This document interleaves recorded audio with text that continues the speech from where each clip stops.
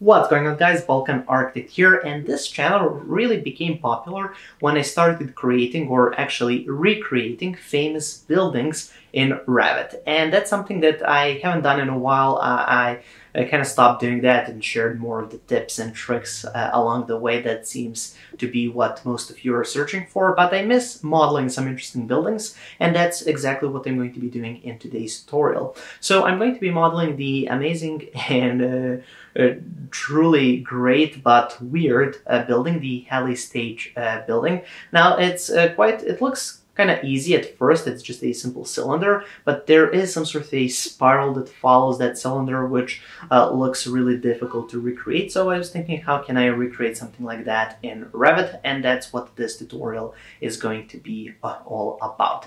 Uh, so that's what we're doing today. Now, before I get into that, I would just like to ask you to like this tutorial. It helps me out a lot with the YouTube algorithm and also make sure to subscribe. I make useful Revit tutorials each uh, week. I make multiple tutorials and also if you're interested in more long form content where I have more time to explain all of these advanced uh, topics in depth, check out my website, balkanarchitect.com. That's going to be the first link in the description just below the video. Uh, there I have both beginner, intermediate, as well as advanced courses. All of these courses are either from one hour up to 16 hours long, where I take the extra time to explain everything in depth. Okay, so without any further ado, let's get straight into Revit. Okay, so here we are in Revit and let's get straight into the project. So let's go here to models, go to new, and then uh, for the template I'm going to be using the Balkan Architect template, uh, the metric version. Now if you're interested in either the metric or the imperial version, it's available on my website and it's going to be the third link in the description. So check it out. Okay, now I'm just going to click OK and then uh, let Revit open up. So as soon as Revit opens up, uh, let's uh, go ahead and start. Uh, so first I want to start off with that spiral that looks like the most complex part of the project and I want to kind of outline it first uh, just to know where it is, just to get the, the, the, idea for the dimensions. So what I'm going to do is just go here to floor, uh, then go to the circle tool and then just find the center here and then just make a 10 meter uh, radius circle. Okay, so once we have that we can go here to the center and then we can have something that's, I don't know, 5 meters like this. And then what I want to do is go here and just create a simple straight line here, just like that. Next, I want to move to the center and then go from the center and make another line here just next to that one. Hit the escape key a couple of times, there we go. Next, you want to go here to the modify tool and then go here to the split element uh, split element tool. SL is the shortcut, and then you want to split both the inner and the outer circle. Hit the escape key a couple of times. Move to trim and extend to corner, and then you want to fix this up by clicking here and here, here and here, and repeat the same process on the other side. Okay, so as you can see, we have something that looks like a, I don't know, like a donut that has been eaten uh, just a little bit, maybe cut in uh, on one side. So anyways, we want to kind of finish this uh, this floor, go to the 3D view, this is what that looks like. Looks decent enough, so anyways, the next step is going to be selecting this and going here to edit boundary. Uh, oops, not the edit boundary, sorry, uh, modify sub-elements. So then you want to find one side of this, so perhaps this one, so either one or the other, I want this one, and then here you can type in a number, and I'm just going to type in 10 meters, and that's going to give me something that looks like this. So there we go, we have our spiral ramp for people to get up this uh, building. Now we're going to use this as reference in order to model the, the rest of the building. So the building is going to be modeled as an uh, in-place mass. So what you want to do is go here to massing and site, then you want to go to show mass so we can actually see what we're doing. And then you just want to go here to in-place mass. We can just call it mass 1, that's okay. Go into level 1 and of course you can't see anything so let's go to site plan instead. Perfect. Then you want to find the center of this circle. So if you try, it's going to make it a bit hard to, to, to make sure to find that point. But here, as you can see, we have to kind of hover over the circle first, and then it's going to give you that center point. There we go. So when we go to the outside, okay, this doesn't seem to be the center. So uh, let's find a different solution. Let's go with a line from one side. Make sure to go perpendicularly There we go. So just perpendicular to the other side, giving it the center. And then the center is going to be the midpoint of this line. There we go. Okay, this looks correct. And then you just want to go like this to the kind of the, the outside of that circle, hit the escape key a couple of times, select this line, delete it because we don't need it. Okay, let's go back to the 3D view. This is the circle we have, and then you just want to go here to create form, uh, go with the cylinder, and then extend it just a little bit further. Uh, you can just set this up to whatever you might like. Let's go to 18 meters. Perfect. Okay, so once we have this cylinder with our spiral in the center, now it's time to create that opening along that spiral. So you want to do that by using the spline through points tool in order to place that uh, line. So what I'm going to do is just go here, maybe to this point here on that side of the spiral. Then let's see. And just following that floor spiral like this, as you can see, just make sure that it highlights before you place any points. So maybe you want to go like that. Now you don't want too many points, but you don't want too little either. So you want to have something that looks like this. This might be one too many, but that's okay. Uh, we can work with that. Next, you want to uh, basically select uh, the reference plane of each of these points and add a void shape that's going to be cutting the spiral so, or cutting the cylinder. So let me show you how that works. Uh, you want to use set work plane and then pick out this kind of the vertical uh, plane of this point, select that, and then you want to go here and you can use a rectangle, and just make sure to switch here to draw on work plane so it doesn't accidentally snap to something else, and then you just want to go from that point and just create something that looks like that. Okay, in this case it might be a bit odd, let's see.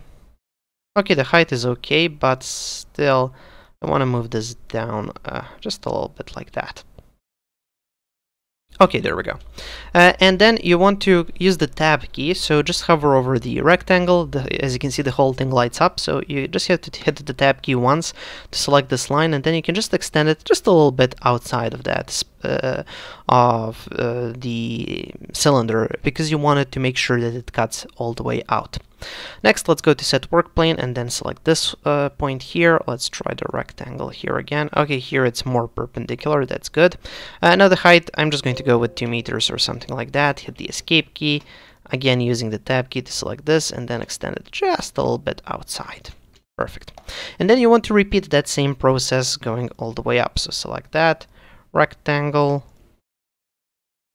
go all the way to the inside, the height at least 2.1 meters. I don't know, you can make it larger if you want and then extend it to the outside. And again, as I said, you just want to repeat the whole process all the way up. So I'm just going to skip that part because it's kind of repetitive. Okay, now you can see I have finished all of these rectangles. Now I've left the final one because it is a, a, little bit different. So for the final one, what you want to do is go here to set work plane. Uh, of course, select that point, uh, just make sure that you select the vertical one, and you can toggle through the, the planes uh, by using the tab key as well. Uh, now, let's use that same rectangle, but in this case, let's make it really, really small, like this, really tiny. And then let's hit the tab key and extend this outward. Perfect, so we have our profiles. So the next thing that you want to do is you want to select the first few of these. Uh, now, you might run into trouble if you try to select all of these just like this, and then go here to void form. As you can see, it gives us an error message. Now, this might be for a wide, uh, uh, wide um, array of reasons or something like that, uh, so that there can be just thousand different little reasons why it doesn't want to uh, work exactly how we want it. So I just suggest you select the first one, hold the control key and then select three or four, just like this. Then go to create form, void form, there we go. So we have the beginning of our spiral. Uh, next you want to hover kind of over that void, hit the tab key multiple times and, until you select that void. Then find the edge, then hit the tab key a couple of times until you find that surface. Select the surface, hold the control key, and then we can select perhaps one more. Then you go to void form. As you can see, it's going to continue on like that. Then you want to continue. Let's see. Oops. So again, select that void. Select that final one, then let's try, let's try three at once. And let's try void form. There we go. It looks good. And then finally for the last one, uh, you want to do it kind of manually like this and then just hit the tab key a few times till you select that void. Again, the tab key multiple times until you select this final face. Hold the control key, select the small one and then go with void form just connect it there to make it kind of small uh, like that. Now here we seem to have an issue, so let's go back one step. So here we want to go with that. Okay, so I guess this this didn't go far enough to the outside, so let's extend it like that. And then let's try again. Uh, there we go. Hold the control key. Void form. There we go. Looks perfect. So we have kind of a nice little ending here, uh, just like the real building. And for the beginning you want to do the same thing, but because the spiral doesn't go any any further down, you can add just a simple point somewhere along this line, perhaps here. Hit the escape key a couple of times and then just use simple lines or a simple rectangle to, let's go to set work plane, select this one. Just select, create a very kind of slim element here, use the tab key to extend it, just make sure to extend it far enough. Uh, and then go here to this void, hit the tab key multiple times, till select the void, then hit the tab key a couple of times to select that face, and then select the rectangle here, void form. Okay, it doesn't want to cut, uh, let's try cut geometry. Ah, so we seem to have a problem there. Let's go back.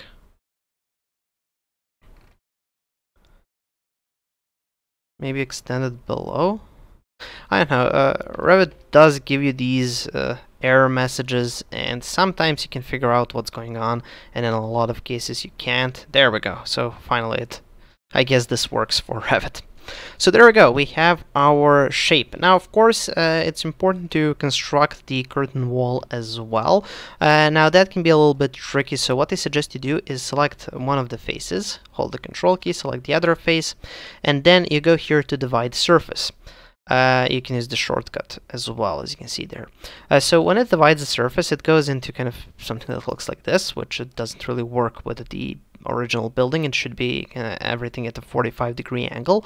Uh, so you want to go here to pattern and choose the rhomboid pattern and of course make it smaller. So let's go with 15 for this and 15 for this as well. Hit apply looks much better. And then also you you might get issues here towards the edges. Uh, so I like to fix those issues by adding a grid ro rotation on one of these just like that. And then as you can see it aligns properly on both sides. Uh, so once you have that uh, of course you can add uh, instead of just this simple rhomboid shape, you can actually uh, create panels that go in there. Uh, so it's uh, it's not that difficult actually. Okay, if you have a few more moments, I can show you. So let's go here to File, uh, New, and you have to create a new family. It has to be a let's see. So that should be a curtain uh, panel uh, pattern based. Open that up. There we go. Then you want to select this whole kind of panel grid and choose the, the rhomboid one. There we go. Uh, next, you want to select the whole thing. You can go here to create form, solid form, make the rectangle, and just make it really thin. Maybe something like, I don't know, let's go with 10 millimeters. Perfect. And then you want to select that whole shape, just like this, and make it glass. Let's see. Let's try glass. Perfect, so we have glass for that, and then also what you want to do is to have some sort of an edge. So for that we can place a point here in between, a midpoint, set uh, that work plane, or set a work plane on that midpoint, and then create a rectangle there. So maybe something that looks like that. And then you want to select one edge. And then give it, I don't know, maybe an 80. Or let's go with 50 millimeters offset on one side. Making it a total of 100. Now here, of course, this should probably correspond to some existing panel that you want to create, but in this case, I'm just trying to make this look really simple. Let's make it a total of 200. There we go. So basically select the green reference lines and this as well by holding the control key and then going to solid form and that looks like that. And then of course you can select the whole shape by using the tab key and then you can add see, do you have any aluminum? No, uh, doesn't matter, we can just leave it like this. Anyways, uh, let's just load it into the project, uh, make sure to save it of course first, so let's save it on desktop as, let's just call it a simple panel.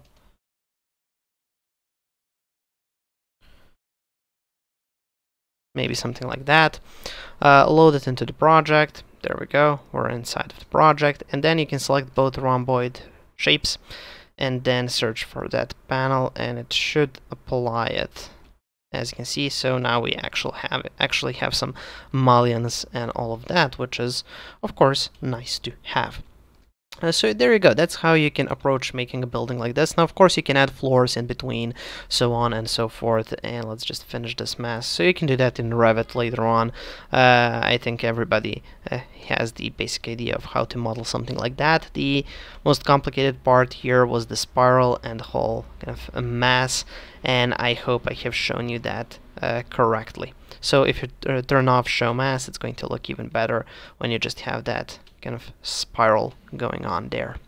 So there you go. I hope you have enjoyed this. I hope it was fun and interesting, and I hope you have learned something new.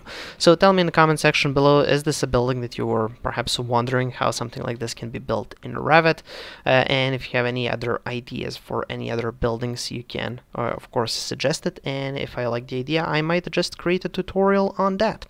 Okay, so that's pretty much it for this tutorial. Thank you for watching. Please subscribe. Uh, make sure to like and share this video. And uh, of course, uh, I'll see you in another Balkan Architect tutorial in a few days. Thank you for watching and have a nice day.